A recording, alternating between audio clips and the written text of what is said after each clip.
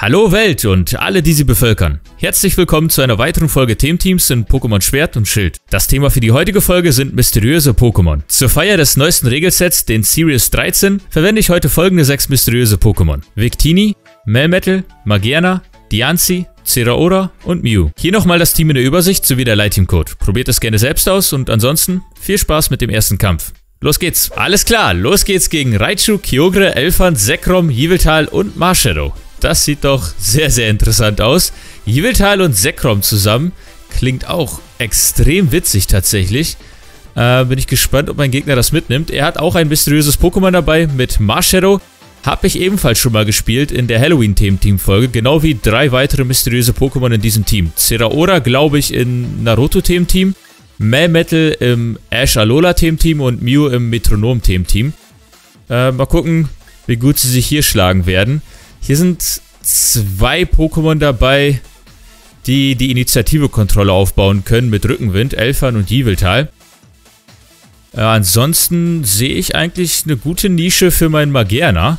Wenn es einmal richtig reinkommt, dann kann es gut Schaden austeilen. Wir könnten hier mit Victini starten, aber dann hätte ich das Problem, dass Mogli Breitschuh mir vielleicht irgendwas versaut. Deswegen starten wir mal so sicher wie es geht mit Zeraora und Mew, holen den Bizarro-Raum raus und gucken dann von dort aus weiter. Äh, könnte definitiv sehr, sehr interessant werden. Äh, bin gespannt. Es sieht zwar sehr, sehr stark aus, was ich heute dabei habe, aber ich habe kaum Erfahrungswerte mit diesem Pokémon. Dementsprechend, ja, wird das heute auch mit vielen, vielen Pokémon äh, das erste Mal. Auch gegen viele Pokémon. Ich weiß nicht, wann ich das letzte Mal gegen Marshadow gespielt habe. Äh, mal gucken, mit was er startet. Zekrom und Marshadow tatsächlich. Das bedeutet, ich muss den Mogelieb auf Zekrom setzen. Äh, in der Hoffnung, dass er Zekrom nicht Dina maximiert. Zekrom hat meistens Schutzschild, eine Drachenattacke, eine Elektroattacke und äh, eine Flugattacke. Heißt also, er könnte da definitiv diesen Weg gehen. Wir probieren es aber mal mit Mogelhieb.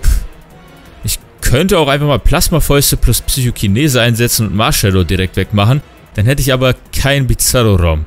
Das Problem beim Bizarro-Raum ist, dass mein Zeraora darunter leidet. Aber ich denke mal, das war ziemlich cool gerade von Marshadow aus. Ich denke mal, damit fahre ich am besten. Das größte Problem wäre eigentlich nur, wenn er jetzt plötzlich irgendwie einen Verhöhner hat auf Marshadow. Ich denke mal, das Risiko können wir eingehen. Mal gucken, was passiert. Mein Gegner, Dina, maximiert sich. Ist es Marshadow, ist es Zekrom? Wenn es Marshadow ist, ist es in Ordnung. Wenn es Zekrom ist, könnten wir in Probleme geraten. Es ist Zekrom. Okay, es könnte jetzt sehr, sehr schwer werden weil mein Mogelieb hat dementsprechend keine Wirkung. Blitzschlag wäre besser gewesen gegen Marshadow. Und wenn jetzt beide Pokémon gegen Mew gehen, muss ich mir was anderes überlegen. So, Mogelieb kommt durch. Schaden ist überschaubar. Mal gucken, was wir noch machen können. Coaching. Coaching bedeutet plus 1 Angriff und Verteidigung für Zekrom. Ich greife speziell an mit Magerna. Deswegen ist es da in Ordnung. Mew wird angegriffen. Mew überlebt mit zwei KP, hätte einen Fokusgurt, äh, um mit einem KP zu überleben. Interessant, dass er die Attacke genau mit zwei KP überlebt hat. Hat er einfach gar keinen Bock auf seinen Fokusgurt. Okay.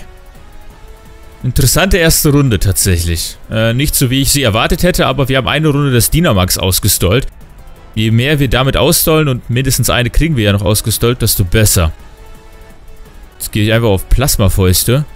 Ich überlege gerade, ob ich einfach Magerna reinholen sollte. Er wird wahrscheinlich Coaching oder Schattenstoß gegen mein Mew einsetzen. Das heißt, ich könnte Magerna da, wo Zeraora ist, rausholen. Weil er da wahrscheinlich eine Drachenattacke draufsetzen wird und Psychokinese gegen Marshadow. Weil wenn Marshadow Schattenstoß einsetzt, dann wird mein Mew draufgehen und ich bekomme plus einen Spezialangriff auf Magerna. Wenn nicht, dann kann ich mit Psychokinese immer noch richtig guten Schaden austeilen und Mew wird eventuell sowieso draufgehen. Es kommt tatsächlich Schattenstoß, bedeutet plus eins für meinen Magerna. Magerna ist eins der stärksten Pokémon im, insgesamt im Spiel. Typenkombination, Fähigkeit, man sieht es hier, absolut broken. Jetzt ist die Frage, geht er auf eine Drachenattacke? Wird auf jeden Fall Sinn ergeben. Tatsächlich, sehr gut. Magerna, Fla äh, Fee, Stahl. Dementsprechend konnte ich die Drachenattacke abwehren. Wir können jetzt wieder Zeraora reinholen. Ähm, wobei können wir nicht, weil der Mogelieb wird nichts bringen. Heißt also, es muss Melmetal sein. Und mit Melmetal muss ich jetzt, ja, alles unter Beweis stellen. Gucken, ob ich das hinbekomme. Wir werden wahrscheinlich bei Sekrom eine Runde warten. Uh, ich könnte auch tatsächlich... Wen Diener maximiere ich? Mehr Mittel zu Diener maximieren klingt tatsächlich ein bisschen spannender. Im Moment. Wenn ich Lichtkanone gegen ihn einsetze und einfach mal Diener Frost. Nee, machen wir das nicht. Ich habe ein bisschen Angst vor einem...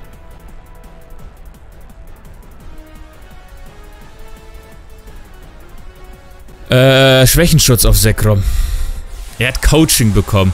Ich, hätte er kein Coaching bekommen, hätte ich wahrscheinlich Melmetal Diener maximiert. Melmetal greift logischerweise physisch an. Aber so weiß ich nicht, ob es unbedingt das Schlauste ist. Deswegen die physische Attacke auf Marshadow, das nicht Coaching bekommen hat. Und das Spezielle gegen Sekrom. Es müsste jetzt so sein, dass als erstes Melmetal angreift. Sollte kein Schattenstoß kommen, versteht sich. Äh, sehr gut. Das sollte auch reichen. Ja, Panzerfäuste greift immer zweimal an, hat die Chance sogar zurückschrecken zu lassen. Ähm, in diesem Fall nicht notwendig, da Maschedo das nicht überlebt. Seelenherz aktiviert sich, ich habe plus zwei Spezialangriff jetzt. Und das... Ich weiß nicht, ob es gegen Sekrom reicht. Okay. ja, mal dieses Magerna ist vielleicht ein bisschen broken. Dieses Pokémon ist so ekelhaft einfach nur. Äh, ich habe es schon in der letzten Team-Team-Folge quasi gesagt und miterleben dürfen. Es ist so schwer, das aufzuhalten. Das beste Pokémon, um es aufzuhalten, ist ein Feuer-Pokémon oder Graudon. Jetzt habe ich plus 3 Spezialangriff und ich weiß, wie mein Gegner das aufhalten soll. Ich habe Initiative-Kontrolle, ich habe Mogelieb im Hintergepäck und ja, zwei Pokémon, die einfach nur noch Schaden machen wollen. Kyogre ist in Ordnung. Also ich habe plus 3. Ja, er kann nichts machen. Ich habe plus 3 einfach. Und das Schlimmste ist, wenn er sich auf Magerna nicht fokussiert, sondern das andere Pokémon rausnimmt, dann kriegt Magerna plus 1 Spezialangriff. Das ist so eine böse Strategie, so ein böses Pokémon. Wir gehen selbstverständlich auf Kyogre, damit äh, von Tränen weniger Schaden machen. Wir können Erdbeben einsetzen, treffen unser eigenes Magerna damit. Das ist nicht so praktisch, deswegen nochmal Panzerfäuste. Ähm, gegen Kyogre, wieso nicht? Es wird sowieso Mogelieb kommen, also ist es egal. Genau. Melmetal ist zurückgeschreckt und das sollte auf jeden Fall reichen. Sehr gut. Und ja, Raichu im Alleingang wird das nicht gewinnen können. Jetzt hat mein Magerna, by the way, schon plus 4 Spezialangriff. Es wird nicht besser. Und das Witzige an Magerna ist, Magerna äh, wurde quasi, also versucht den Zaum zu halten mit ihrer Signature-Attacke, Kanonenbouquet, ähm, die den Spezialangriff um zwei Stufen senkt, ähnlich wie Draco Meteor. Aber ja, ihr könnt sehen, einfach Diener maximieren und man bekommt davon gar nichts mit. Einfach eine Feenattacke zu haben mit 140 Basisschaden. Das ist absolut broken. Äh, wir wollen den Gegner natürlich nicht länger warten lassen, als er muss. Und das sollte das Ende sein. Er gibt schon auf. Er hatte keine Chance. Also wenn man gerne einmal draußen ist, vor allem mit Initiative-Kontrolle, weiß ich nicht, wie man das aufhalten soll. Ein sehr, sehr starkes Pokémon. Gute Show von Magerna. Ähm, und genau, wir sehen uns gleich schon in der zweiten Runde. Und weiter geht's gegen Kyogre, Kronos Barappenreiter, Melmetal, Magerna in der Pokéball-Form. Sehr interessant, sehr wohl und Riolu. Riolu sollte man nicht unterschätzen, das kann tatsächlich sehr, sehr böse werden. Ähnlich wie in der letzten Team-Team-Folge mit Cleopatra. Äh, mit Copycat, beziehungsweise Imitator. Okay, ähm, das Team hat das Potenzial, dementsprechend in den Bizarro-Raum zu gehen oder mit Koronospa Kyogre super viel Schaden zu machen direkt von Anfang an. Ähm, ich glaube, hier würde ich tatsächlich Victini mal probieren. Es könnte ganz cool werden, äh, weil es mit V-Generator die stärkste Feuerattacke im Spiel hat oder mit die stärkste Feuerattacke im Spiel. Und im Zweifel Wagemut und dann kann ich das mit Magerna ausprobieren, was ich vorhatte. Ähm, machen wir das mal. Wieso nicht? Magerna, Victini. Die Strategie kann gleich komplett nach hinten losgehen, aber das ist auch eine kleine Testlaborfolge für mich heute. Dementsprechend wäre ich da nicht unbedingt mad. Zeraora könnte noch ganz gut sein gegen Kyogre. Weil ich weiß nicht, ob ich unbedingt Dianzi mitnehmen will gegen Melmetal, Magerna und Kyogre. Könnten es auch mit Mew wieder probieren. Wandler könnte ganz cool sein. Äh, oder Zeraora. Ich glaube Zeraora, weil Plasmafäuste kann richtig reinknallen. Und Standpauke kann doch mal vielleicht ein bisschen den Kampf besser kontrollieren. Ähm, genau, dann müssen wir die Anzi gleich in der dritten Runde mitnehmen. Ist prinzipiell kein schlechtes Pokémon. Es passt gerade nur leider nicht in die Meta rein, weil Kyogre zerstört ist, Groudon zerstört ist, Zäschchen zerstört ist, Magerna zerstört ist. Also so ziemlich alles. Ähm, und dementsprechend muss man mit dem Pokémon sehr, sehr vorsichtig sein. Vielleicht kriegen wir da was in der dritten Runde zusammen. Das ist tatsächlich in Ordnung für mich. Wow. Ich hätte Schlimmeres erwartet. Jetzt ist die Frage. wer geht auf Bizarro-Raum und wer greift an? Mein Gegner ist ein, ist ein Psychosamen, bedeutet, äh, dass seine Spezialverteidigung erhöht wird. Die Idee hinter den beiden Pokémon, by the way, Victini, finde ich, ist das coolste mysteriöse Pokémon. Ähm, ich mag es einfach sehr, sehr gerne, zusammen mit Hirashi. Ähm, bei den beiden Pokémon, wenn man die zusammenspielt, gibt es eine kleine Synergie. Wir haben ja gerade gesehen, sobald ein Pokémon drauf geht, bekommt Magiana Plus einen Spezialangriff. Und für alle, die die Teamübersicht gesehen haben, wir greifen mal an, glaube ich. Wir gehen mal nicht auf Bizarro-Raum. Ähm, Wagemut. Wagemut bedeutet, mein Pokémon opfert sich, macht aber genauso viel Schaden, wie viele KP es im Moment habt. Sprich 176. Das könnte gegen einen Magera schon ausreichen oder gegen einen sehr wohl. Dementsprechend setzen wir das einfach mal gegen sehr wohl ein. Und im Zweifel sollte ich jetzt mit Wagemut Victini ähm, das sehr wohl rausnehmen. Sind zwei Pokémon besiegt worden, plus zwei Spezialangriff für mein wundervolles Magerna hier. Perfekt, perfekt, läuft, läuft genauso wie erwartet. Victini hat sich geopfert, damit Magerna plus einen Spezialangriff bekommt. Sehr wohl, ist draufgegangen. Heißt also, ich habe 1 für 1 getauscht. Ähm, und beide Magerna bekommen jetzt plus zwei Spezialangriff. Das ist der Nachteil davon, aber man kann ja nicht immer erwarten, dass der Gegner auch einen Magena draußen hat. Ich finde die Pokéball-Form tatsächlich sehr, sehr schön. Schön, dass wir die auch hier sehen. Äh, jetzt ist die Frage, ist er auf Pizarro-Raum gegangen? Ich bin auf jeden Fall schneller, darf draufhauen als erstes. Mit plus zwei Spezialangriff tut's auch richtig schön weh. Er ist auf Pizarro-Raum gegangen. Okay. Äh, mein Magerna müsste minimale Initiative haben. Das heißt, wenn ich Melmetal spiele, müssten wir in einer guten Lage sein. Ich könnte Zeraora, nee, Zeraora kann ich nicht spielen, weil das Psychofeld draußen ist. Mogulib wird keine Funktion zeigen. Das ist perfekt für mich. Also mein Gegner hat mir genau in die Karten gespielt. Und wir befinden uns hier, wie gesagt, in der Hyperball-Klasse. Ähm, ich bin sehr froh, dass die Taktik aufgegangen ist mit Victini. Äh, ich würde aber tatsächlich gerne dazu sagen, als kleinen Disclaimer, dass das sehr viel Glück war. Hätte er hier auch angegriffen, wäre es, glaube ich, ziemlich schlecht für mich ausgegangen. Hätte er nicht Spotlight eingesetzt, sondern Flächenmacht, wäre auch nicht cool gewesen. Äh, mein Gegner muss erstmal verarbeiten, was da gerade passiert ist, glaube ich. Ähm, sowas wie Mogelieb kann das logischerweise aufhalten, weil es schneller ist als Victini mit Wagemut. Deswegen trägt Victini auch einen Waldschall. Rückenwind Strolch mit Elfern oder Borios könnte auch das Ganze verhindern. Also es gibt einige Strategien, um das aufzuhalten. Ähm, ich überlege gerade, wie ich das mache. Ich glaube, Dina Zauber auf Kyogre und Panzerfäuste, oder? Kann ich daneben gehen, Panzerfäuste, das sollte gegen Magerna reichen. Und Kyogre ist das schnellste und im Bizarro das langsamste Pokémon. Melmetal ist definitiv langsamer. Heißt also, ich müsste eigentlich alles im Lot haben. Sehr, sehr gut, dass er den Bizarro für mich rausgeholt hat bin so glücklich gerade, dass die Taktik, dass ich die Taktik zeigen konnte, weil das zeigt nochmal, wie stark Magerna sein kann. Ähm, und direkt ein Pokémon damit rausnehmen, absolut genial. Deswegen hat mein Victini auch 252 EVs in KP und Initiative. Es soll Wagemut einsetzen, es soll nicht V-Generator und so weiter einsetzen. Es kann es einsetzen, wird immer noch richtig reinknallen. Aber mit Wagemut und 100 Basis-KP äh, kann man mit vollem KP-Investment einige Pokémon rausnehmen, vor allem die nervigen Pokémon. Ein Session, das nicht auf Defensive äh, investiert hat im, im EV-Bereich, ähm, im KP. Kyogre kriegt man damit auch, glaube ich, relativ gut raus. Ähm, Groudon ebenfalls, Glurak, alles, was nicht Diener maximiert ist. Und das wäre vielleicht nochmal ein Counter gegen das, was ich gerade gemacht habe. Hätte er jetzt beispielsweise, macht man normalerweise nicht, aber hätte er sehr wohl Diener maximiert, hätte ich niemals genügend Schaden gemacht, weil die KP sich verdoppeln. Also es gibt einige Dinge, wie man das aufhalten kann. Deswegen bin ich ja so froh, dass es genau hier geklappt hat. Kann mir nicht vorstellen, dass es häufiger klappt. Also konstant. Sehr gut. Ähm, und wir haben genau das gleiche Bild wie gerade hier. Mein Magiana ist groß, bekommt Spezialangriff nach Spezialangriff Boost und ja, Melmetal zerstört einfach. Es tanzt einfach einmal umher und Kyogre überlebt plus 3 Spezialangriff.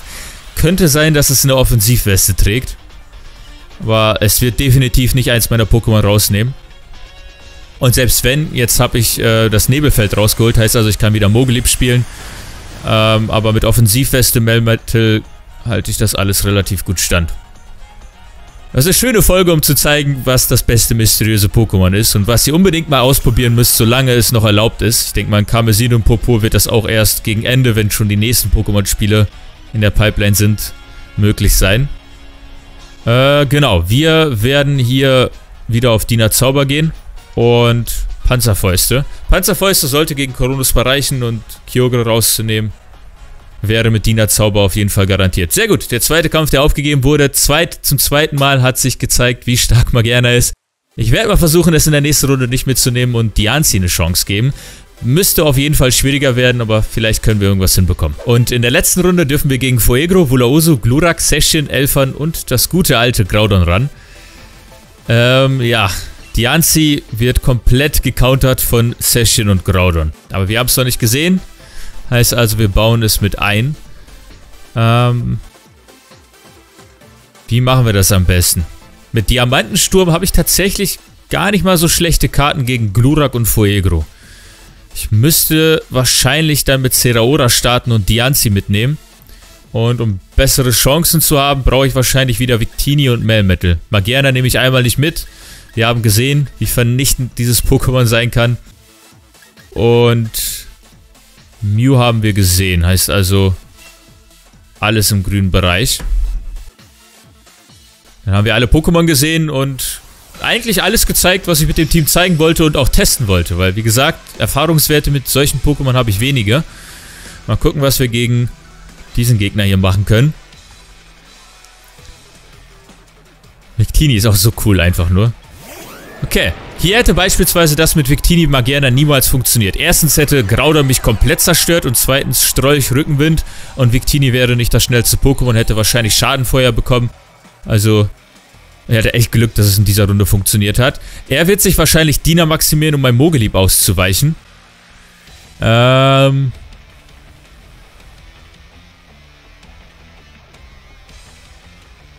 Ich habe nichts, was ich dagegen machen kann, tatsächlich. Also ich habe so viele Bodenschwäche in meinem Team. Das Einzige, was keine Bodenschwäche hat, ist Mew. Äh, wie machen wir das am besten? Ich muss hoffen, dass er sich nicht in der ersten Runde Dina maximiert. Und Bizarro-Raum durchbekommen. Von dort aus kann ich dann weiterarbeiten. Ja, machen wir das so. Macht er nicht. Perfekt, perfekt, perfekt. Sehr gut. Jetzt kommt ein Rückenwind, der ist uns egal. Potenziell hätte Elfer noch Verhöhner gegen mich einsetzen können. Aber das ist in Ordnung. Tatsächlich läuft das sogar besser als gedacht. Dadurch, dass er Rückenwind gespielt hat, müsste sein Graudon schneller als mein Zeraora sein. Und wir können jetzt ganz geschmeidig Nahkampf gegen Graudon einsetzen und Diamantensturm. Schutzschild auf äh, Elfern ist in Ordnung. Äh, ich hatte sowieso nicht vor, das rauszunehmen. Diamantsturm. Diamantsturm, für alle, die die Attacke nicht kennen, die kann nur Diancia lernen. Passend perfekt auch zu äh, der Terra-Kristallisierung tatsächlich. Macht super wenig Schaden, erhöht aber zu 50% den Verteidigungswert um zwei Stufen. Deswegen habe ich Body Press dabei. Sollte ich die Chance bekommen, quasi meinen Verteidigungswert um zwei Stufen zu erhöhen, kann Dianzi in der nächsten Runde dann richtig schön reinknallen. Ich glaube aber, dass ich auch eine Abgrundsklinge von ähm, Graudon überleben kann mit Dianzi.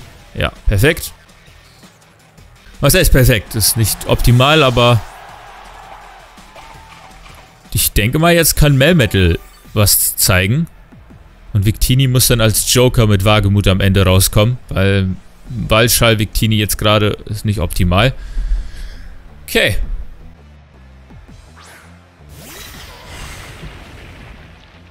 Ja, dann machen wir das so. Wir gehen auf Dina Frost, damit wir das Wetter ändern können. Wir könnten aber auch Dina Erdstoß einsetzen. Gucken mal kurz auf gegnerische Team. Ähm, ja, Session. Eigentlich hatte nur noch ein Pokémon oder allgemein nur ein Pokémon, das speziell angreift. Heißt also Dina Erdstoß, nur wenn es auch sehr effektiv trifft. Dementsprechend einfach mal Dina Frost drauf und wir bleiben bei Diamantsturm. Das einzig Ärgerliche wäre jetzt, wenn er Energieball auf mein Dianzi setzt. Weil dann wäre auf jeden Fall Dina Erdstoß besser gewesen, damit ich vielleicht noch eine Attacke von ihm überleben kann. Okay. Dann darf Melmetal auch mal ran. Er musste mal zugucken, wie Magierna groß wurde. Und jetzt darf er mal groß werden. Er geht auf Schutzschild mit Graudern. Ich glaube, das bringt ihn nichts. Und er geht auf Sonntag. Er wusste, dass ich das Wetter wechseln will. Wahrscheinlich und ist auf Sonntag gegangen. Wie gesagt, das ist die Hyperball-Klasse. Und ja, die Hagelkörner werden ihn zerstören. Und Diamantsturm ja, das Ärgerliche ist, dass er Schutzschild einsetzt, dass Diamantsturm nicht beide Pokémon trifft. Und Schwächenschutz auf Groudon. Okay. Das ist gut, dass es gleich weg ist. Und für jedes Pokémon, das Diamantsturm trifft, hat es diese 50-prozentige Chance, äh, plus 2 ähm, Verteidigung zu bekommen. Und jetzt bekommt es plus 2 Verteidigung. Perfekt, aber ich weiß nicht, wie viel das bringt. Das ist interessant. Aber ich finde, Diamantsturm passt perfekt zu Terra-Kristallisierung aus Pokémon Karmesin und Purpur.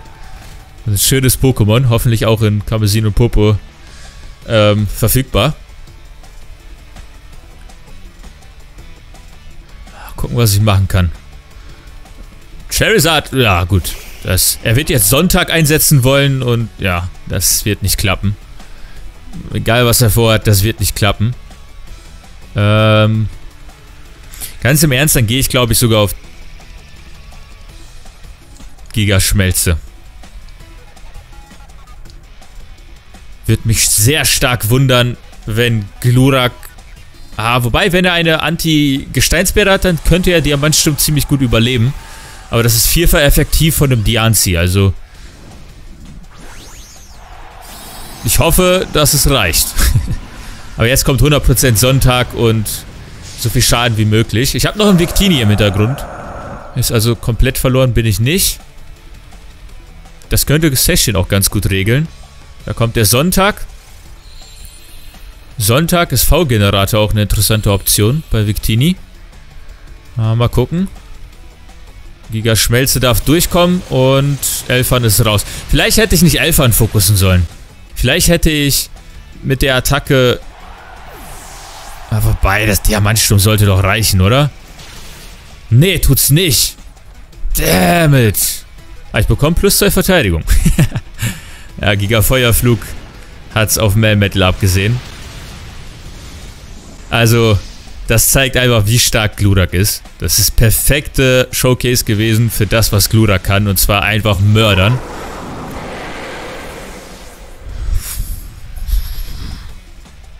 Solarkraft kostet ihn auch ein bisschen.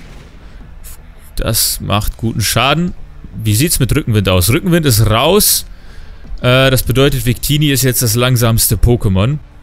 Aber ich darf Diamantsturm einsetzen. Aber er Zäschchen. Ja, was er machen wird, ist wahrscheinlich die Naval und Gigantenhieb. Jetzt hängt es davon ab. Wenn ich jetzt richtig predikte, habe ich gewonnen. Ich kann, also es ist eine 50-50 Chance. Entweder er geht auf Dina Wall mit Glurak oder er greift an und mit Session wird er hundertprozentig angreifen. Heißt also, um zu gewinnen, muss ich jetzt richtig predikten, ob er Dina Wall auf Glurak einsetzt oder nicht. Ist ein spannender Kampf zum Ende. Gefällt mir. Ähm, V-Generator. Auf jeden Fall. Wobei, eigentlich muss ich nicht das Muss ich das Risiko eingehen und V-Generator spielen? Ja, komm. Ab dafür. Oh, ich habe kein Schutzschild auf ihm. Damit. Dann kann ich tatsächlich gar nicht predikten. Oh, ich brauche gar nicht predikten. Perfekt. Er ist nicht auf Dina Wall gegangen. Interessant. Weil was er jetzt machen muss, ist mein Victini rauszunehmen. Es, zum Ende ist es ziemlich awkward geworden. Er geht wahrscheinlich auf Gigantenhieb gegen Victini, hoffentlich. Dianzi. Wow. Okay. Ein Gegner hat meiner Meinung nach einige Fehlentscheidungen getroffen. Die Naval auf Giga Dynamax Glurak wäre auf jeden Fall der beste Play gewesen. Hätte er eine Runde überlebt. Hier sehen wir nochmal die Signature-Attacke von Victini und er darf den letzten Kampf beenden. Perfekt zu meinem lieblingsmysteriösen Pokémon.